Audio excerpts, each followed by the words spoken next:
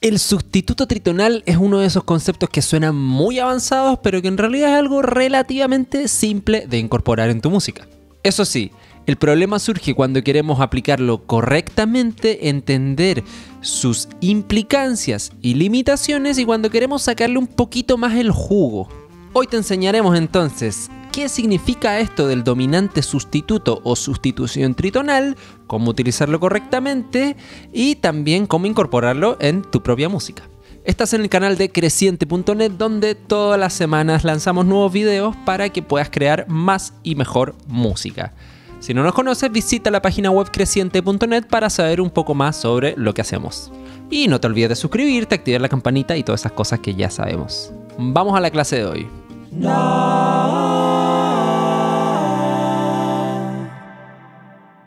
Entonces, ¿de qué se trata el sustituto tritonal?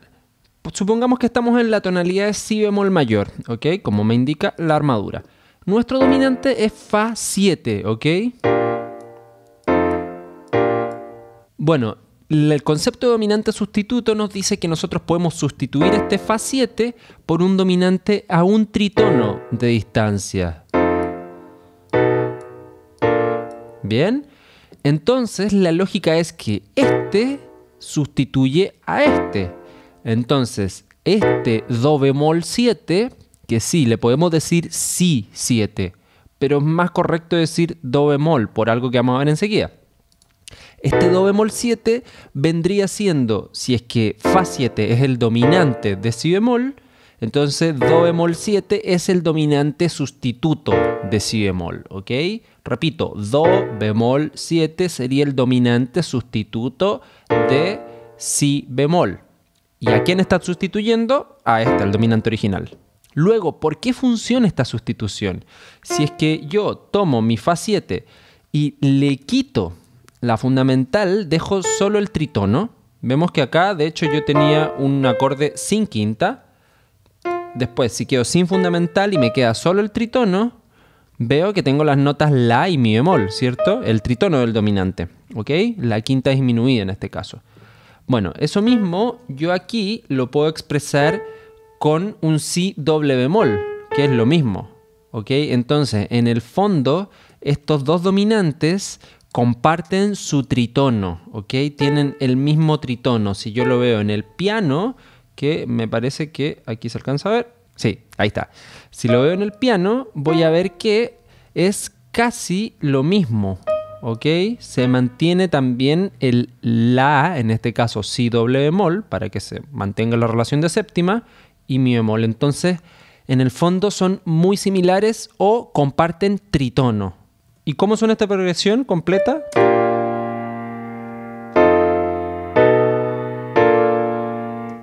Bueno.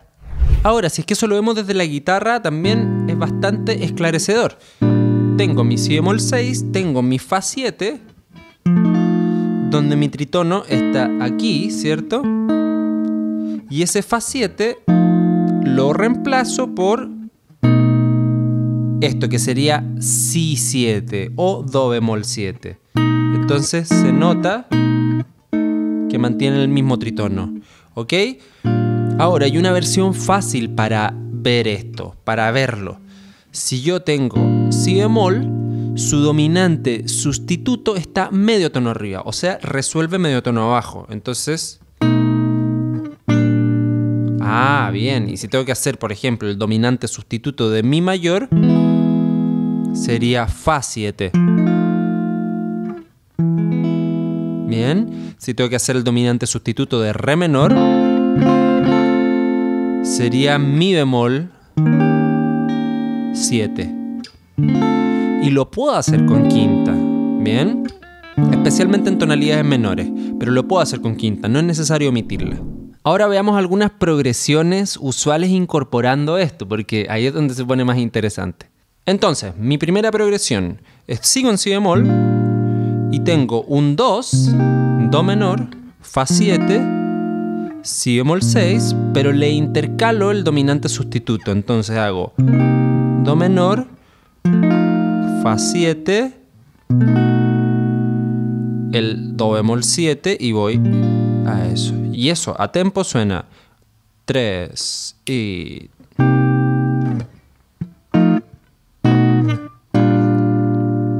Y si le ponemos un poquito más de ritmo...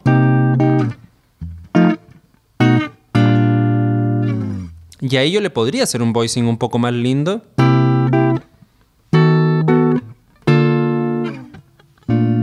Pero bueno, eso ya queda a tu criterio. Aquí ya cambia un poco la progresión, porque acá en vez de hacer Do7, Fa7, Si bemol, lo que estoy haciendo es sustituir ese Do7 por su sustituto tritonal, que sería Sol bemol 7. En el fondo yo estoy haciendo dominante sustituto del quinto, quinto, primero, o sea, Sol bemol 7, Fa 7. Bien, eso es muy típico.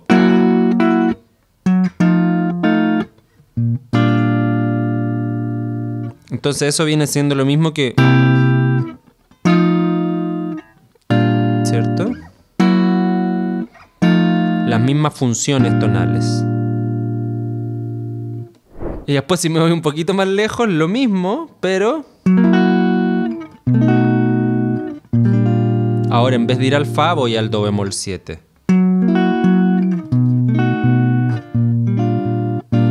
También se puede.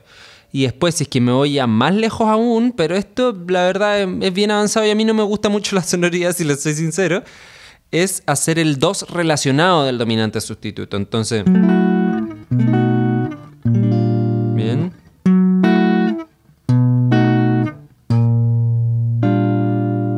Tienen que explorarlo. Con esto ya tenemos muchas posibilidades. Ahora hay que ver un par de particularidades de este acorde que no todo es tan así sencillo. Cambiemos de tonalidad para ejercitarnos más. Estamos en Re mayor y su dominante sustituto es el Mi bemol 7, ¿cierto?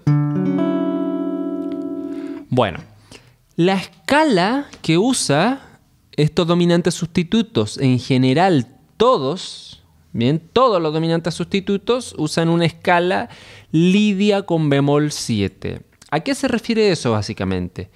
Miren, si es que pensamos, el acorde de por sí ya tiene estas notas, ¿ok? Tiene estas notas. Entonces me quedan tres notas al aire, por decirlo así. Bien, como que no he definido por, de alguna manera en la escala. El La es parte de la escala original. Bien, el do natural me queda ahí por lógica, porque do sostenido viene siendo lo mismo que re bemol, ¿bien? Si se fijan, este dominante sustituto no puede contener al re. ¿Por qué? Porque tiene re bemol y tiene mi bemol, o sea, bordea por ambos lados a la nota de resolución. Entonces, en la escala del dominante sustituto, yo no tengo a la nota a la que voy a resolver. Y eso lo relaciona con los dominantes alterados. Pero en eso no vamos a entrar porque es más avanzado y si quieres verlo, bueno. Ciclo 2, ah, la dejo ahí. Entonces no contiene el re. Y tiene que tener al do natural porque es la única manera de conformar una escala de siete notas más o menos coherente, ¿cierto? Si le pongo do sostenido no va a tener sentido porque es el re bemol. Bien, y si le pongo do bemol va a quedar medio raro. Y el Fa también tiene que quedar acá más o menos estable. Podría tener Fa sostenido, pero generalmente lo que se toma como regla de oro es que los dominantes sustitutos llevan esta escala, lidia con bemol 7. Y eso, ¿en qué se traduce? En que el acorde puede llevar una tensión de oncena aumentada, ¿bien? Es como lo normal, por decirlo así, que yo le ponga esa tensión. Entonces va a ser un acorde 7 pero puede llevar esa cuarta aumentada. En este caso, y la mayoría de las veces, se reemplaza a la quinta. O sea, en vez de ponerle el si bemol, le pongo el la. Que si se fijan, la es el dominante. Ah, y ese mismo la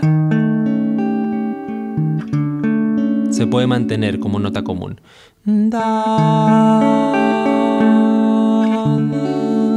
Entonces mis dominantes sustitutos en general todos resuelvan a mayor o menor, llevan la escala lidia bemol 7 por defecto y por ende pueden llevar oncena aumentada. También pueden llevar novena si es que yo quiero y también pueden llevar trecena si es que yo quiero. Bien, o sea que yo perfectamente puedo hacer mi bemol 7 con la oncena aumentada y pasarme a un mi bemol 7 con novena acá.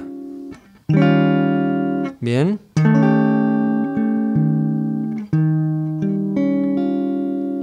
Y resolver, por ejemplo, a un Re más 9. Ahí nos vamos a un terreno más avanzado. Y ahora, si lo ponemos en práctica en una cancioncita muy famosa, vamos a ver bien cómo qué pasa y qué limitaciones tenemos.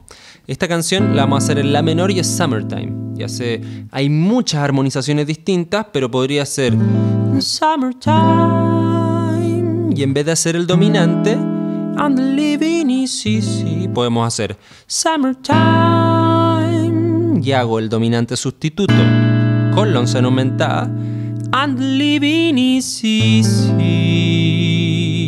Y ahora puedo hacer dominante del cuarto, dominante sustituto del cuarto y cuarto. Ah, repito todo eso. Summertime. I'm living easy.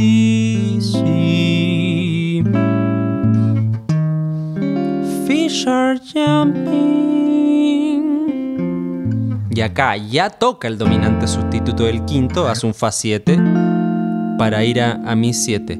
And the curtain is high.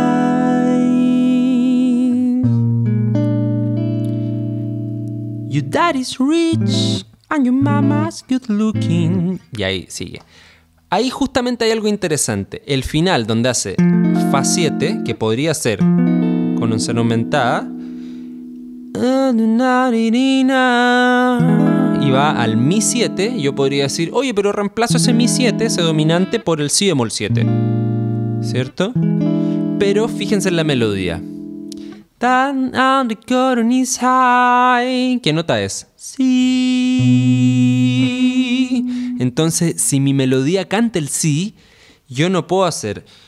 And is high. ¿Cierto? Tendría que cambiar la melodía. And the curtain is high. Para que me calce. Y no funciona. Lo que sí podría ser. And the curtain is high. Your dad is rich. Hacer ese descenso cromático. O bien. And the curtain Cerrar la nota. Y ahí volver. Ahí lo hice con trecena. Y todo eso también le podemos dar más onda.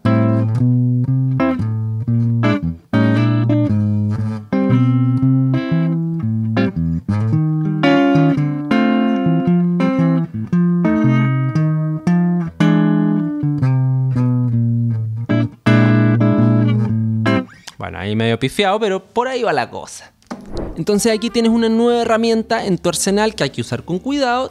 Ten ojo con la melodía. Lo peor que uno puede hacer es chocar con la melodía. Es decir, si no tengo claras las notas que canta, no voy a poder armonizar con plena conciencia si estoy chocando o no, aunque también mi oído me debiese decir eso. Pero bueno, ponle ojo. Nos vemos en el próximo video donde vamos a hablar de rítmica y si es que te interesa abordar este tipo de temas pero de una manera más profunda, más ordenada, con inclusión ya en tu propia música, con ejercicios, muchos ejercicios y revisiones y retroalimentaciones, dale una vuelta al Círculo de Creadores que desde mi punto de vista es un tremendo camino como para crecer como compositor o compositora. Nos vemos en la siguiente.